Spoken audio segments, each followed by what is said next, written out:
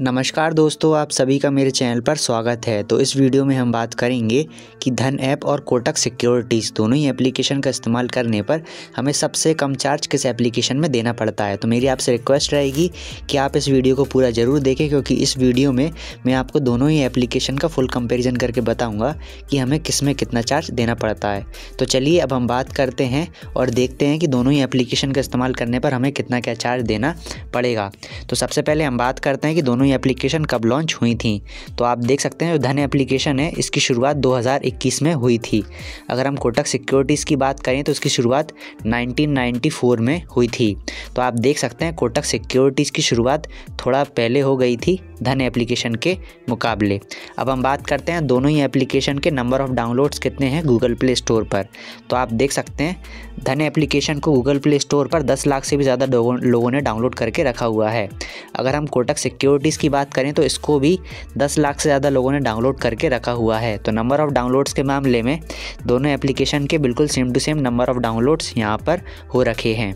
अब हम बात करते हैं अकाउंट ओपनिंग चार्जेस के बारे में।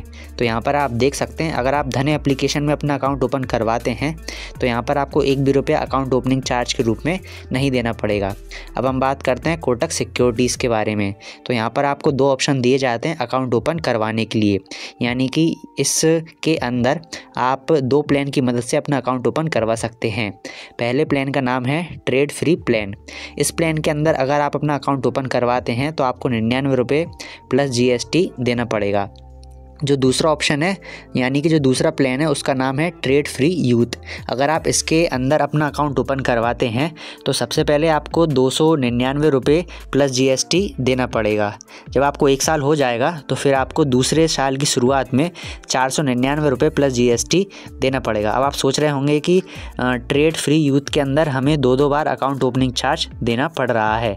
तो आप इसे अकाउंट ओपनिंग चार्ज समझ लीजिए या फिर सब्सक्रिप्शन फ़ीस समझ लीजिए। आपको यहाँ पर दो बार अकाउंट ओपनिंग चार्ज देना पड़ेगा। तो यहाँ पर आपको ज़्यादा चार्ज इसलिए देना पड़ रहा है क्योंकि अगर आप ट्रेड फ्री यूथ के अंदर अपना अकाउंट ओपन करवाते हैं तो यहाँ पर आपको बहुत सारी फैसिलिटीज़ दी जाएँगी, जिसके बारे में मैं आपको आगे वीडियो में बताऊँगा। तो आपको एक इंपॉर्टेंट इन्फॉर्मेशन मैं आपको बताने वाला हूँ अब। जैसे कि अगर आप ट्रेड फ्री प्लान में अपना अकाउंट ओपन करवाते हैं तो इसके लिए जो आपकी उम्र है, वह तीस से ज़्यादा होनी चाहिए। और अगर आप ट्रेड फ्री यूथ में अपना अकाउंट ओपन करवाना चाहते हैं तो इसके लिए जो आपकी उम्र है, वह तीस से कम होनी चाहिए। इसके अगर आप ट्रेड फ्री प्लान में ओपन करवाना चाहेंगे तो इसके लिए तीस से ज़्यादा होनी चाहिए उम्र। और अगर ट्रेड फ्री यूथ में तीस से कम होनी चाहिए तो मुझे उम्मीद है कि आपको अकाउंट ओपनिंग चार्ज के बारे में समझ में आ गया होगा। अब हम बात करते हैं अकाउंट मेंटेनेंस चार्जेस के बारे में। तो धन एप्लीकेशन के अंदर अकाउंट मेंटेनेंस चार्ज बिल्कुल ज़ीरो है। यहाँ पर आपको एक भी रुपये नहीं देना है अकाउंट मेंटेनेंस चार्ज के रूप में। अब हम बात करते हैं कोटक सिक्योरिटीज़ की। तो कोटक सिक्योरिटीज़ के अंदर आपको दो प्लान दिए जाते हैं। आप दोनों ही प्लान में से किसी में भी अपना अकाउंट ओपन करवाएँ। दोनों ही कंडीशन में आपको अकाउंट मेंटेनेंस चार्ज देना पड़ेगा। तो अगर आप दोनों प्लान में से किसी में भी अपना अकाउंट ओपन करवाते हैं तो वहाँ पर आपको same to same account maintenance charge देना पड़ेगा। अब हम समझते हैं कि हमें कितना अकाउंट मेंटेनेंस चार्ज देना पड़ेगा। अगर आपका demat account B S D client के अंडर में आता है तो आपको पचास हज़ार से कम की होल्डिंग पर एक भी रुपये चार्ज नहीं देना है। अगर आपकी होल्डिंग्स पचास हज़ार से लेकर दो लाख के बीच में है तो आपको सौ रुपये हर साल देना पड़ेगा। अगर आपका demat account non B S D client के अंडर में आता है तो इस कंडीशन में अगर आपकी होल्डिंग्स एक हज़ार से कम है तो आपको ज़ीरो रुपये चार्ज देना पड़ेगा। अगर आपकी होल्डिंग्स एक हज़ार से ज़्यादा हैं तो आपको पचास रुपये प्लस जीएसटी हर महीने देना पड़ेगा। अब आप सोच रहे होंगे कि हमें कैसे पता चलेगा कि जो हमारा डीमार्ट अकाउंट है वो B S D A client में आता है या फिर non B S D A client में आता है? तो इसके लिए आपको कुछ नहीं करना है। आपको कोटक सिक्योरिटीज़ के कस्टमर केयर को फ़ोन लगा के पूछ लेना है कि आपका जो डीमार्ट अकाउंट है वो किसके अंडर में आता है। तो मुझे उम्मीद है कि आपको अकाउंट मेंटेनेंस चार्ज के बारे में सब कुछ अच्छे समझ में आ गया होगा। अब हम बात करते हैं ब्रोकरेज ऑन डिलीवरी यानी कि अगर आप किसी भी कंपनी के शेयर को ख़रीदने के बाद बेचेंगे तो बेचने पर आपको कितना चार्ज देना पड़ेगा।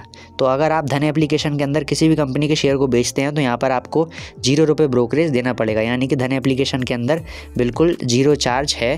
किसी भी कंपनी के शेयर को बेचने पर। अब हम बात करते हैं कोटक सिक्योरिटीज़ की। तो इसके अंदर दो प्लान हैं। अगर आप ट्रेड फ्री प्लान के अंदर किसी भी कंपनी के शेयर को बेचते हैं तो आपको zero point two five percent charge देना पड़ेगा। अब जैसे कि आप किसी भी कंपनी के शेयर को बेच रहे हैं, उसकी वैल्यू अगर एक लाख रुपए है तो एक लाख रुपए का zero point two five percent जितना भी होगा, उतना आपको चार्ज देना पड़ेगा। अगर आप ट्रेड फ्री यूथ के अंदर अपना अकाउंट ओपन करवाते हैं तो इस कंडीशन में आपको किसी भी कंपनी के शेयर को बेचने पर एक भी रुपये चार्ज नहीं देना है। तो मुझे उम्मीद है कि आपको ब्रोकरेज ऑन डिलीवरी दोनों ही एप्लीकेशन के अंदर समझ में आ गया होगा कि हमें कितना क्या चार्ज देना है। अब हम बात करते हैं ब्रोकरेज ऑन इंट्राडे यानी कि अगर आप इंट्राडे ट्रेडिंग करते हैं दोनों ही एप्लीकेशन के अंदर तो आपको कितना चार्ज देना पड़ेगा। अगर आप धन एप्लीकेशन के अंदर इंट्राडे ट्रेडिंग करते हैं तो आपको कम से कम zero point zero three percent और ज़्यादा से ज़्यादा बीस रुपये पर ऑर्डर देने पड़ेंगे। अब हम बात करते हैं कोटक सिक्योरिटीज़ के बारे में। अगर आप कोटक सिक्योरिटीज़ के अंदर इंट्राडे ट्रेडिंग करते हैं तो इस कंडीशन में आपको ज़ीरो रुपये चार्ज देना पड़ेगा। जैसा कि मैंने आपको बताया था कि कोटक सिक्योरिटीज़ में आपको दो ऑप्शन दिए जाते हैं अकाउंट ओपन करवाने के लिए। तो अगर आप दोनों में से किसी में भी अपना अकाउंट ओपन करवाते हैं, दोनों ही प्लान में से तो किसी में भी अगर आप अपना अकाउंट ओपन करवाएँगे तो आपको दोनों ही कंडीशन में इंट्राडे ट्रेडिंग करने पर एक भी रुपये चार्ज नहीं देना है। अब हम बात करते हैं म्यूचुअल फंड चार्जेस के बारे में। अगर आप दोनों ही एप्लीकेशन के अंदर म्यूचुअल फंड में इन्वेस्टमेंट करेंगे तो आपको कितना क्या चार्ज देना पड़ेगा?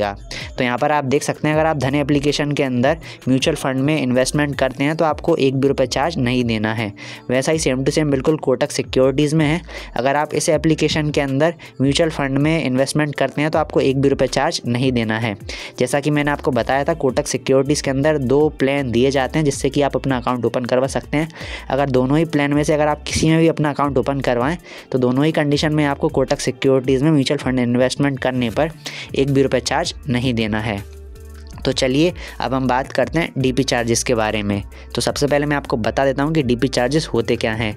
जब भी हम किसी भी कंपनी के शेयर को ख़रीदने के बाद बेचते हैं तो बेचने पर हमें डीपी चार्जेस देना पड़ता है। अगर हम किसी भी कंपनी के शेयर को एक दिन में एक बार दो बार या फिर दस बार बेचेंगे तो हमें एक दिन में सिर्फ़ एक बार डीपी चार्ज देना पड़ेगा।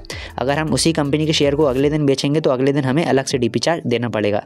यानी कि एक दिन में एक बार डीपी चार्ज लगता है अगर हम किसी एक कंपनी के शेयर को बेचते हैं तो, तो मुझे उम्मीद है कि आपको डीपी चार्ज समझ में आ गया होगा। तो धन एप्लीकेशन के अंदर जो डीपी चार्ज हैं, वो साढ़े बारह रुपये प्लस जीएसटी है।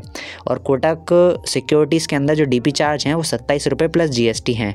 और कोटक सिक्योरिटीज़ के अंदर आपको दो प्लान दिए जाते हैं अकाउंट ओपन करवाने के लिए। अगर आप दोनों ही प्लान में से किसी में भी अपना अकाउंट ओपन करवाते हैं तो दोनों प्लान में ही आपको डीपी चार्जेस सत्ताईस रुपये प्लस जीएसटी देने पड़ेंगे।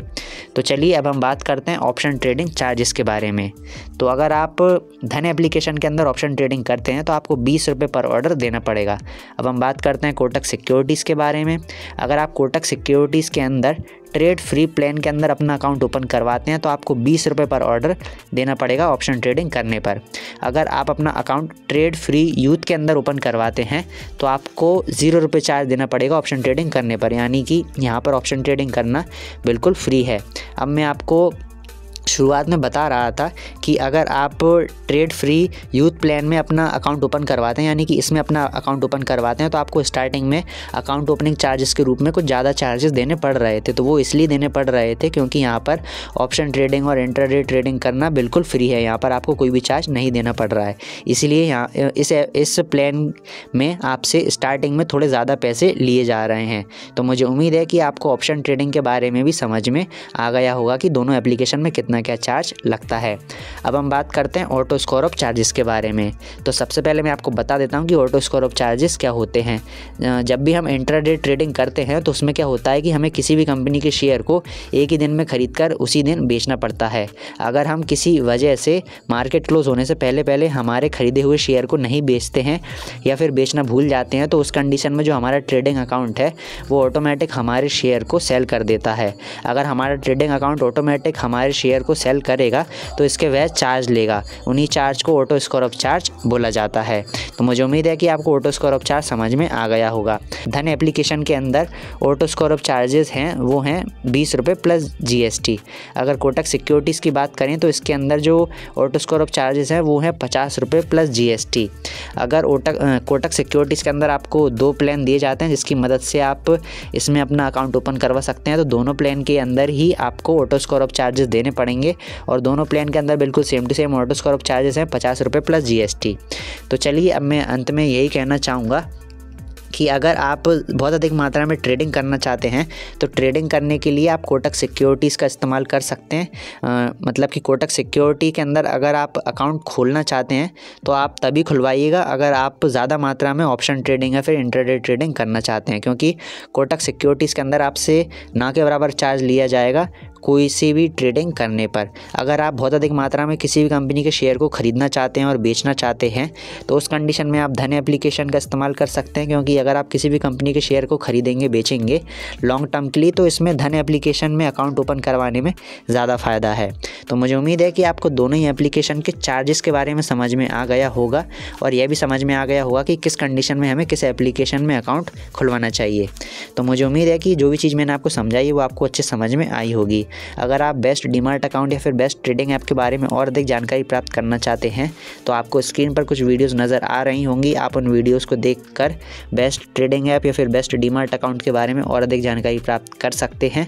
तो अगर इस वीडियो में आपको कोई भी चीज़ समझ में नहीं आई हो तो आप मुझे कमेंट करके पूछ सकते हैं, मैं आपकी हेल्प करने की पूरी कोशिश करूँगा। तो इस वीडियो को हम यहीं पर समाप्त करते हैं। धन्यवाद।